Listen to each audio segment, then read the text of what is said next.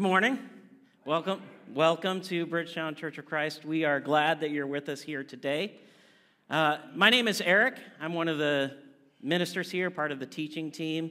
Uh, if you've not grabbed one of these uh, Bible journals, they're in the back by the doors where you came in. Go ahead and get one. It's yours to keep. Even though this is the last sermon in our Mark series for now, we're going to be picking it up again next year uh, around Lent. So definitely grab one of these. Uh, it'll help you follow along. And if you uh, haven't gotten your communion cups yet, these little things, you can go ahead and grab that while you're back there as well. The other day, I was kind of curious and asking the question what would you see if you could see beyond the visible spectrum? You know, we can see Roy G. Biv, the, the rainbow of colors, but there's, there's other things that we can't see, like infrared and ultraviolet and uh, X rays and microwaves and radio waves. And, and all of that lies on the same electromagnetic spectrum. And let me preface this by saying that I'm not a scientist, I'm just a competent Googler, okay? So some of the stuff that I say might not be accurate. but it, it got me thinking, you know? One of the things I found out is that if you, if you pull sticky tape from the roll in a vacuum, it creates a little x ray. Did you know that? I didn't know that. I, I, but it has to be in a vacuum. So as you're, as you're wrapping your Christmas gifts this, this year, don't worry, you're not going to be exposed to x rays uh, unless you're wrapping your gifts in space, which I thought, as I heard, as I thought about that, that would be a great origin story for a superhero, right? Like you've got uh, mild mannered Captain Alex Atoms, that's A T O M S because it's a comic book character, okay? He's, he's an astronaut and he's on the, he's on the space station. There's a fly. he's on the space station and he's got this gift for his fellow astronaut. It's an X ray magnification device. Uh, but he, he can't wrap it on the space station because it's a small place. His, his coworker will see him. And so he's like, well, I'll just do this. I'll just take a spacewalk and I'll wrap this gift out in space, in the vacuum of space. But as he pulls the sticky tape off of the roll, it creates a tiny x ray. But he's wrapping an x ray magnification device. And so he's hit by all of these x rays and he instantly becomes Captain Tape Man putting the earth's foes in a sticky situation, right? Uh, but what I also found out that is that if you could see the entire electromagnetic spectrum, there would be so much light all around you that you wouldn't even really be able to see anything at all. To quote Manfred Mann or Bruce Springsteen, you would be blinded by the light, right?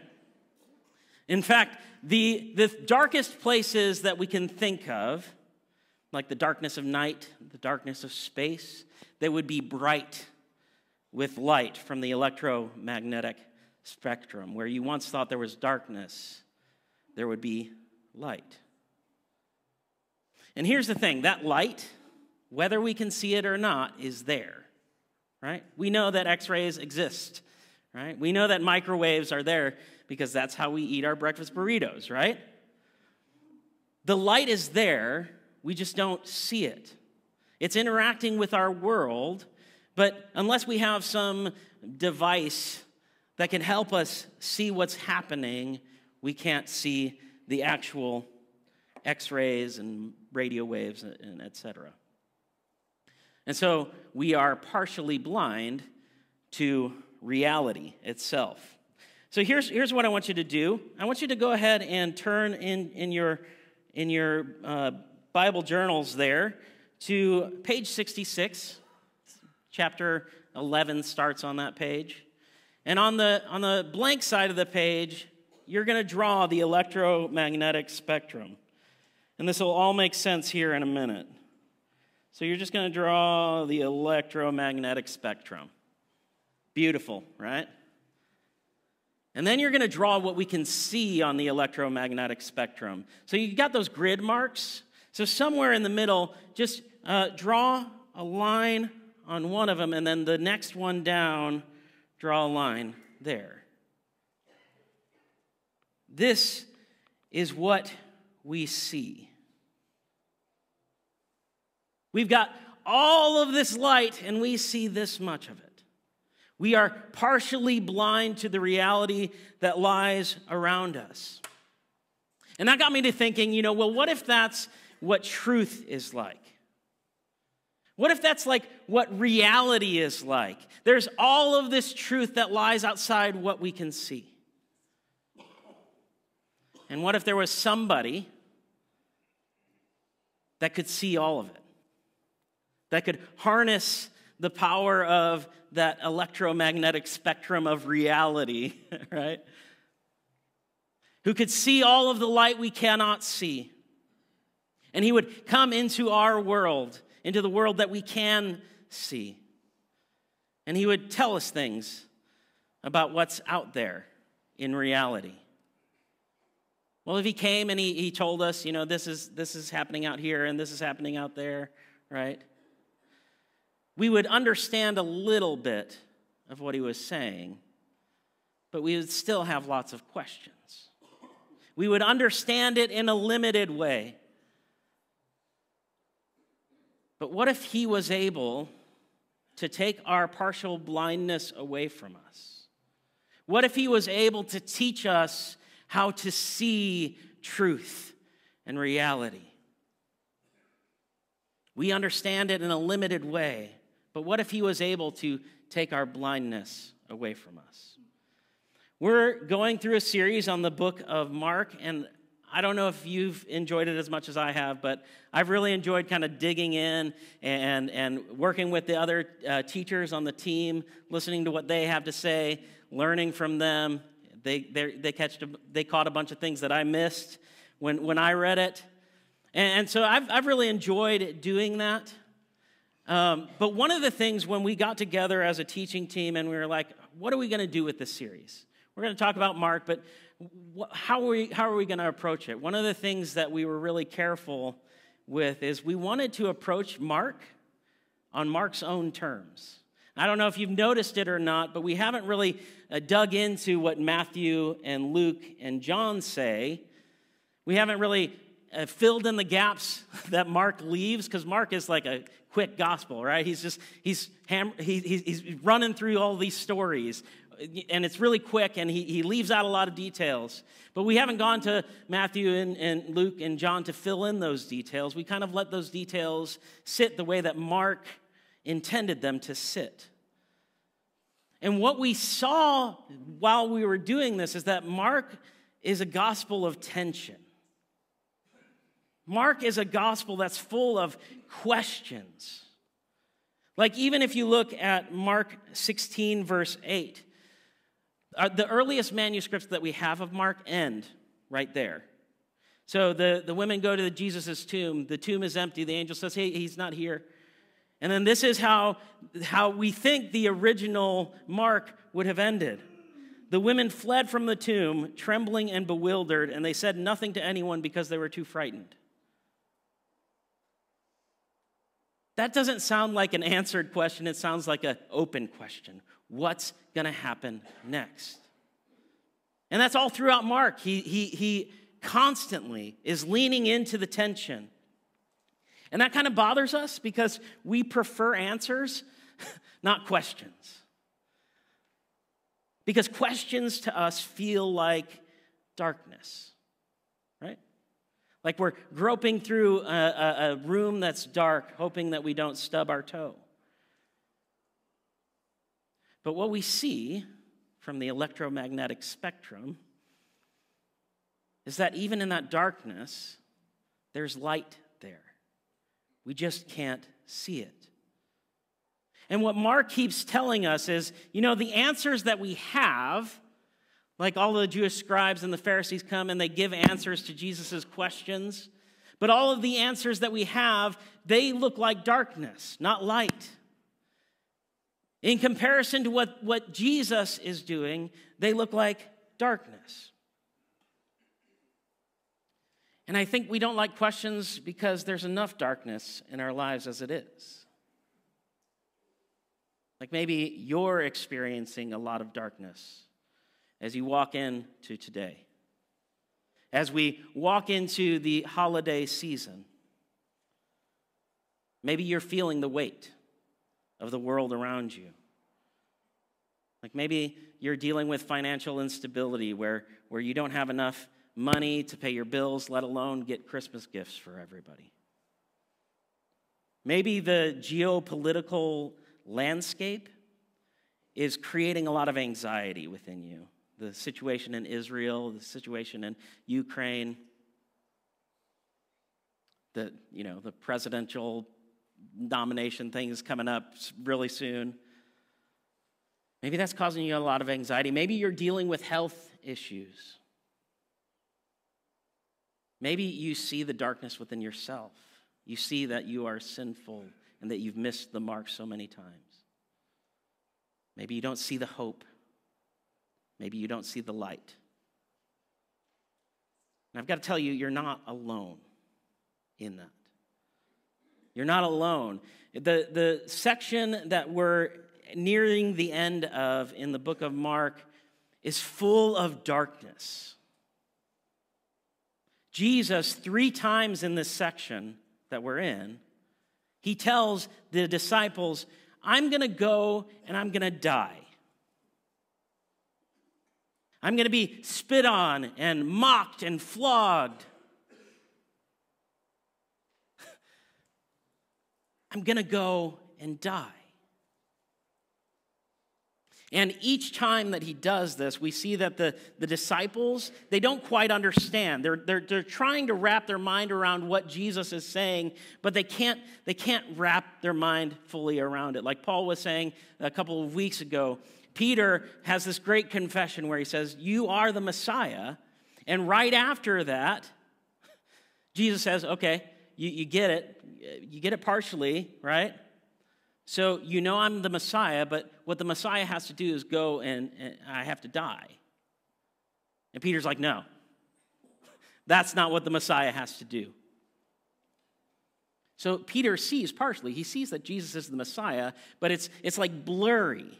He doesn't see the whole picture. He's still kind of blind. And the second time that Jesus reveals that he's going to go and die, the, the story right after that is the disciples they're like confused and embarrassed about what he's saying. And so they just don't even address it. And they just start talking about who's going to be the greatest in the kingdom when the Messiah comes to reign, right? Who's going to be the greatest among us, right?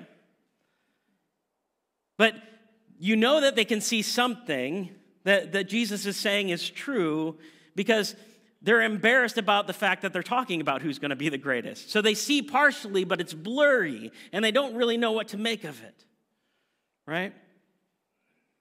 So that brings us to chapter 10, verses 32 through 34. They were now on their way up to Jerusalem, and Jesus was walking ahead of them. The disciples were filled with awe, and the people following behind were overwhelmed with fear. Taking the 12 disciples aside, Jesus once more began to describe everything that was about to happen to him. Listen, he said. We're going up to Jerusalem where the Son of Man will be betrayed to the leading priests and teachers of the religious law. They will sentence him to die and hand him over to the Romans. They will mock him, spit on him, flog him with a whip, and kill him. But after three days, he will rise again. And this is what happens right after that. Then James and John, the sons of Zebedee, came over and spoke to him. Teacher, they said, we want you to do us a favor. What is your request? What do you want me to do for you? He asked. They replied, When you sit on your glorious throne, like, were they just listening to what Jesus just said? They're going to kill me. When you sit on your glorious throne, we want to sit in places of honors next to you, one on your right and the other on your left. It's like they see that Jesus needs to go into Jerusalem, but they totally miss the point of what he's saying. They're missing it. And it's no wonder that they're missing it. Because Jesus is saying, This is what I'm going to do, and this will be good. I'm going to go and die, and that's good. It's, not, it's no wonder that they struggle with it. Now, this section where Jesus predicts his death three times is in between two stories of Jesus healing a blind man. Right? And so the first story is weird because instead of Jesus just healing the man, like he usually does, he heals the man and he says, Hey, can you see anything? And the man's like, ah, I see something, but it's, it's like the men are trees walking around. It's blurry. He sees partially what's happening, right? And so then Jesus fully heals the man. And then he can see just fine. And uh, this is what James R. Edwards, who's a Bible scholar, says about this particular story. He says, This story brings us to the continental, continental divide of Mark's narrative. By the gradual healing of the blind man, Jesus shows how the disciples may come to faith. Like the blind man, the disciples who have eyes but fail to see and ears but fail to hear, they can also be made to see and hear, but it won't happen on their own. They need Jesus to do it. So, what we see in these stories is, is the disciples, they see it, but it's par- they see it partially, it's blurry. It's like the men walking around are trees, right? It, it doesn't, it, it doesn't quite compute what's happening for them. So that's the first story of the blind man. The second one is found in chapter 10, verse 46 through 52. Then they reached Jericho, and as Jesus and his disciples left town, a large crowd followed him. A blind beggar named Bartimaeus, son of Timaeus, was sitting beside the road.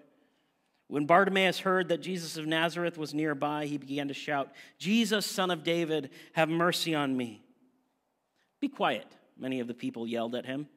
But he only shouted louder, Son of David, have mercy on me. When Jesus heard him, he stopped and said, Tell him to come here. So they called the blind man. Cheer up, they said. Come on, he's calling you. Bartimaeus threw aside his coat, jumped up, and came to Jesus. What do you want me to do for you? Jesus asked. That's the same question that Jesus asked James and John. My rabbi, the blind man said, I want to see. And Jesus said to him, Go, for your faith has healed you. Instantly the man could see, and he followed Jesus down the road. What do you want me to do for you? I want to see. Have mercy on me. What we see in this passage is that Jesus has the power to heal the blind man. But more than that, he has the power to heal the blindness of the disciples. He has the power to illuminate that spectrum that we cannot see. He has the power to heal our eyes so that we can see. What do you want me to do for you? James and John are blind. They don't fully understand what Jesus is asking them. Right? But Bartimaeus, he says, Listen, I'm, I can't, I can't see, right? It's almost as if his blindness gives him an insight that James and John because they can see, don't have. So the question for us is do we want to see? And that's a very hard question to answer because seeing means understanding what Jesus is about to do. Seeing means following Jesus as he goes to do what he's about to do. And what he's about to do is upside down. I think that following Jesus sometimes feels like darkness. Like we're groping in the dark, hoping that we don't stub our toe, because this is what we see. And he's calling us to live in a world that stretches beyond that. So, following Jesus, sometimes it's hard. It feels counterintuitive, it's countercultural. Sometimes it feels like we're, we're we're fighting against reality itself. But at the same time, following Jesus is like light. Jesus says, My yoke is easy and my burden is light. Following Jesus is the easiest thing. It's the most natural thing we could do. It's what we were made to do. It's living according to the truth. And so it's both of those things at the same time. We live in both of those realities because it's really just one reality. And Jesus, he's slowly exposing his disciples to the light. He's slowly exposing us to the light that, that rests beyond the visible realm. He's expanding our vision so that where you once saw darkness, through Jesus, you can learn to see light. And it's a process. Now, what I'm not saying is this I'm not saying that the pain and the darkness and the suffering of this world is like an illusion, like it doesn't matter. It's real. It's a counterfeit reality that was put on us through sin. It's a counterfeit reality that we live in, but it's reality, right? So I'm not arguing that we need to adopt some elevated consciousness and put our heads in the clouds and be like, everything's okay because I've got Jesus. What Jesus shows us is everything is not okay. Because if everything was okay, he wouldn't suffer, he wouldn't die, he wouldn't be flogged. And so it's not that we need to adopt some elevated consciousness, it's that we need to realize that this is what we see and this is what's true. Mark is asking questions. Mark is leaning into the tensions, not so that we can come to the right answers. It's not about right answers, because everybody's got right answers, right? He exposes us to our darkness. He exposes us to the darkness of our understanding so that we can go to Jesus and say, Have mercy on me, son of David. I want to see. Jesus, as the Messiah, he, he's coming and he's, he's not saying, Listen, I'm here to conquer Rome. I'm, I'm here to, to take away the reign of the Roman authority. He's here to conquer sin and death itself. He's not here to, to take out Caesar and his legions and his puppet kings. He's here to take out Satan and his legions and his puppet kings. They're not going into Jerusalem to fight a bloody battle. He's going into Jerusalem to take back his own power. It's not about conquest. It's about surrender and sacrifice. And so Jesus willingly submits himself to the cross. He sacrifices himself. He lets those evil powers envelop him in their darkest darkness. Because he knows that his light is stronger than the darkness. He knows that his life is more powerful than death. And in their effort to snuff out the light, the powers of darkness expose their greatest weakness. Because death is not enough, but it's all they had. Death is not enough, but it's all they had and they had. And death is now broken because Jesus didn't stay dead. He exposes himself to the darkness, and in doing that, he exposes the darkness. He exposes sin and death as that counterfeit reality, and he rips it in two. He turns the darkness of death into the light of life. And then he calls us to do the same. So let me ask you do you see it? Do you see it? We say here that with Jesus, better is possible, and I think that's true. When you follow Jesus, you have access to a better life and community and purpose. But when the brothers ask Jesus about ruling in his kingdom, he calls them to follow him to the cross. So, our better life and community and purpose comes with great sacrifice. It calls us to spread the seeds of the gospel, like Kyle was talking about a few weeks ago, all around us, even when much of those seeds will fall on rocky soil. It calls us to be hospitable, to be receptive and confrontational, to lean in with humility and grace, but also exposing ourselves and other people to the truth of who Jesus is, to the truth and to the light it calls us to love the unlovable, to make space for people who don't deserve the space, who didn't earn it. To make space for the fact that the light of the truth not only exposes other people, but it uh, exposes our own imperfections. It means standing in humility and security in the face of thorns and whips and nails it means exposing death as counterfeit by taking it on ourselves. It means living in the light, reflecting the light, standing in the darkness as a witness to the light. So, do you see it?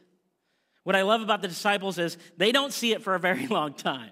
They're, they're walking with Jesus for years and still they miss it over and over again. And after Jesus walks on water, like Nick talked about a while back, they're still blind. I would, I would hope that that would convince me, right?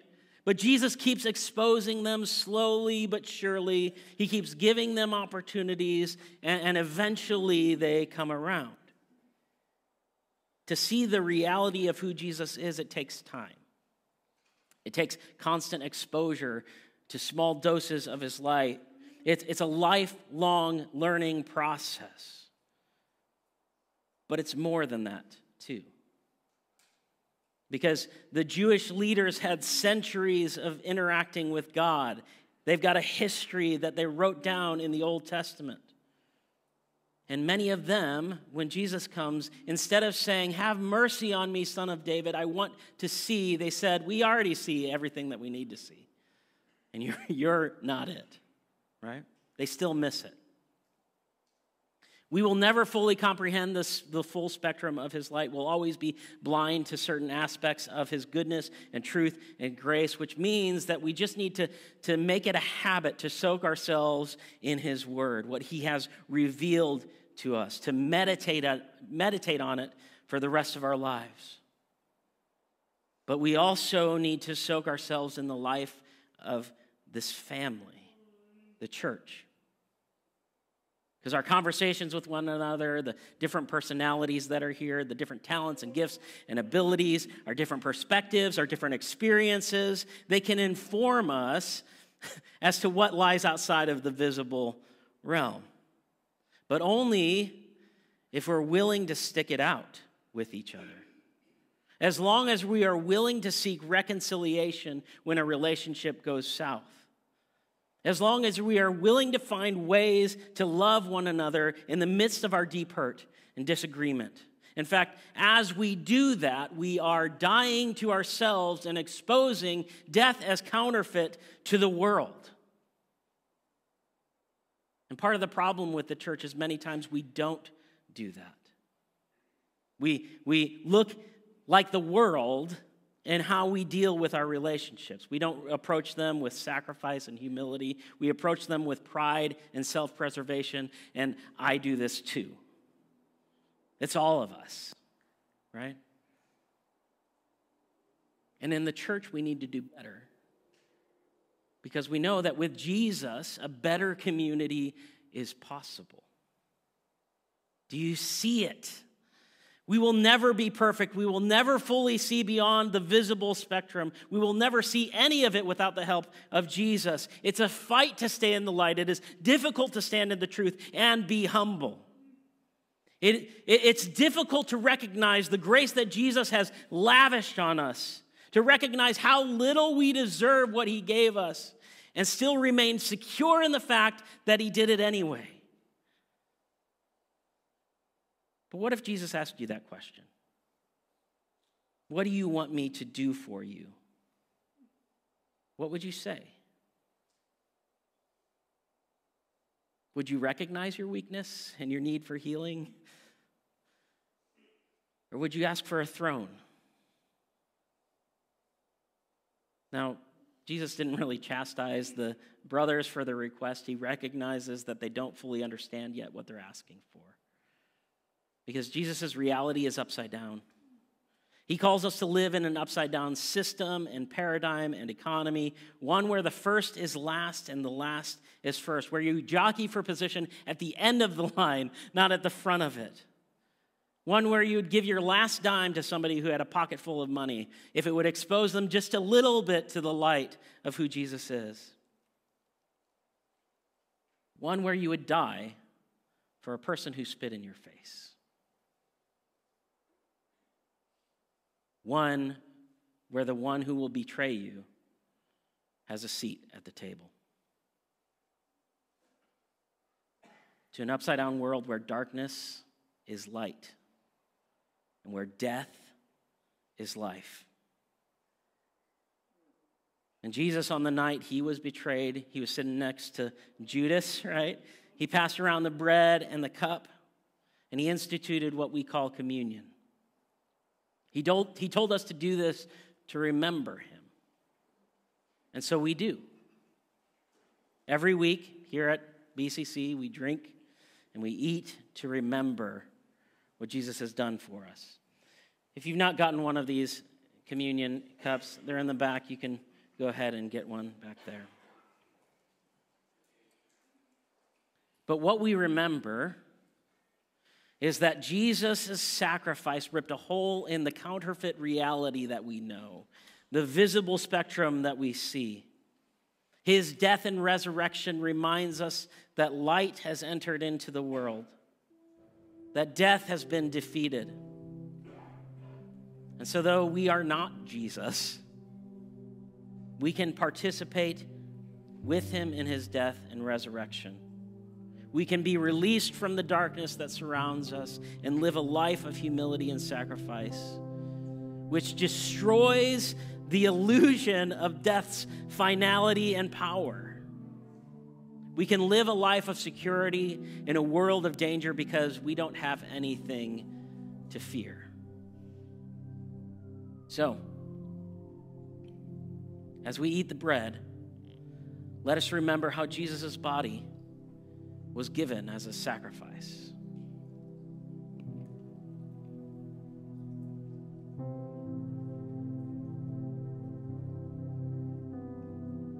And as we drink, let us remember the blood that was poured out on our behalf.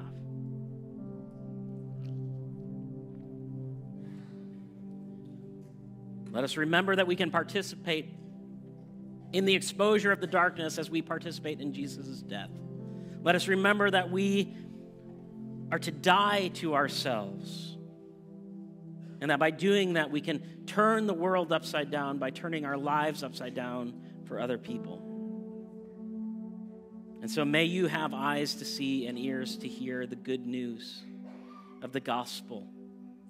May you spread the seeds. May you reflect on the light of reality, true reality and may you see beyond the counterfeit reality of death and sin. And help others by exposing death through sacrifice and grace and love and truth. May you live humbly. May you find your security in the truth of Jesus. And may you share that truth and grace with everyone around you. May you remember that with Jesus, better is possible.